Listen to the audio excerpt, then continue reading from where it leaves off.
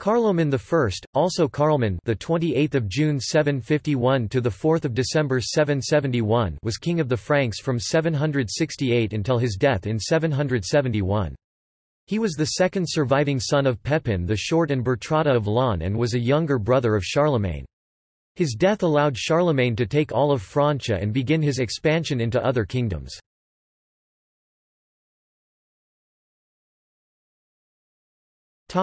Split of the Frankish kingdom At the age of three, he was, together with his father, Pepin the Short, and his elder brother, Charlemagne, anointed king of the Franks and titled, "'Patrician of the Romans' by Pope Stephen II, who had left Rome to beg the Frankish king for assistance against the Lombards. Carloman and Charlemagne each inherited a half of the kingdom of the Franks upon Pepin's death.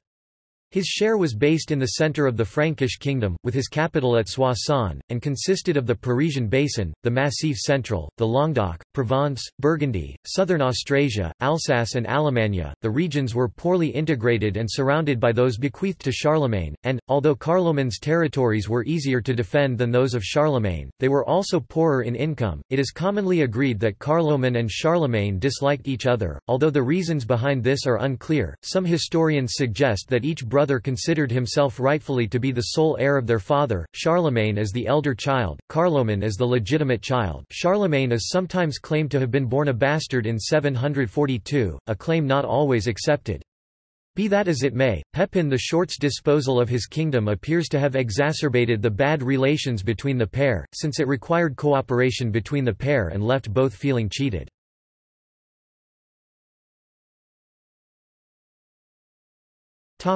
Competition with Charlemagne Carloman's reign proved short and troublesome.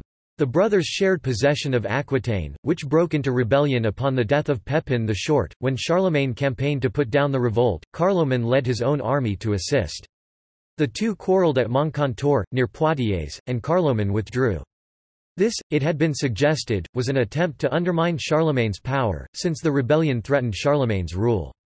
Charlemagne crushed the rebels, whilst Carloman's behaviour had damaged his own standing amongst the Franks. Relations between the two then degenerated further, requiring the mediation of their mother, Bertrada, who appears to have favoured Charlemagne, with whom she would live out her widowhood. In 770, his mother Bertrada began a series of diplomatic offensive to encircle Carloman.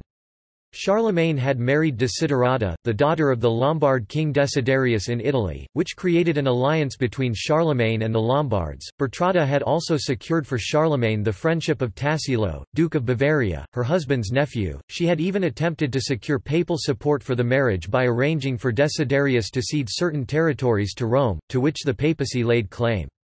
Although Pope Stephen III remained hostile to an alliance between the Franks and the Lombards in theory, in reality, he was deeply conflicted between the threat the Lombards posed to him and the chance to dispose of the anti-Lombard Christopher the Primicerius, the dominant figure at the papal court. These maneuvers had been favourable to the Franks in general, but posed serious threats to Carloman's position. He had been left without allies, he attempted to use his brother's alliance with the Lombards to his own advantage in Rome, offering his support against the Lombards to Stephen III and entering into secret negotiations with the Primicerius, Christopher, who has been isolated by the Franco-Lombard rapprochement, but after the murder of Christopher by Desiderius, Stephen III gave his support to the Lombards and Charlemagne. Carloman's position was rescued, however, by Charlemagne's sudden repudiation of his Lombard wife, Desiderius' daughter. Desiderius, outraged and humiliated, appears to have made an alliance with Carloman in opposition to Charlemagne and the papacy, which took the opportunity to declare itself against the Lombards.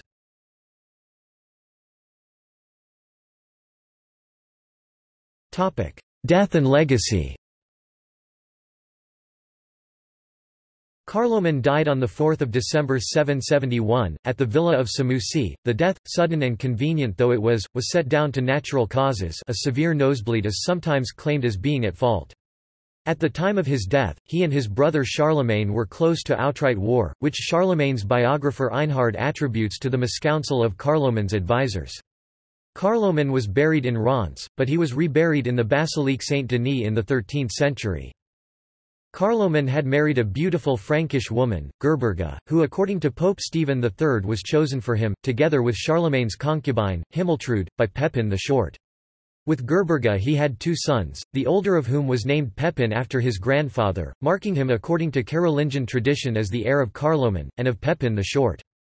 After Carloman's death, Gerberga expected her elder son to become king, and for herself to rule as his regent. However, Carloman's former supporters, his cousin Adelard, Abbot Fulrad of Saint Denis and Count Warin, turned against her, and invited Charlemagne to annex Carloman's territory, which he duly did. Gerberga then fled according to Einhard, for no reason at all, with her sons and Count Autchar, one of Carloman's faithful nobles, to the court of Desiderius, who demanded of the new Pope Hadrian I that he anoint Carloman's sons as kings of the Franks. Gerberga's flight ultimately precipitated Charlemagne's destruction of the kingdom of the Lombards. He responded to Desiderius' support of Carloman's children, which threatened Charlemagne's own position, by sweeping into Italy and subjugating it. Desiderius and his family were captured, tonsured, and sent to Frankish religious houses. The fate of Gerberga and her children by Carloman is unknown, although it is possible that they, too, were sent by Charlemagne to monasteries and nunneries, despite their difficult relationship, and the events following Carloman's death. Charlemagne would later name his second legitimate son Carloman after his deceased brother. This had, perhaps, been a public gesture to honor the memory of the boy's uncle, and to quell any rumors about Charlemagne's treatment of his nephews. If so, it was swept away in 781, when Charlemagne had his son renamed as Pepin.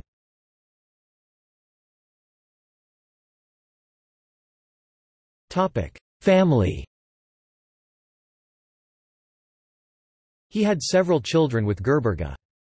Pepin, Prince of the Franks BEF, 769 Unknown son ca. 770 Kunigunde or Auberge Ida ca.768 ca.820, m. Ecbert II, Count of Merseburg. Charles, illegitimate. Carloman, illegitimate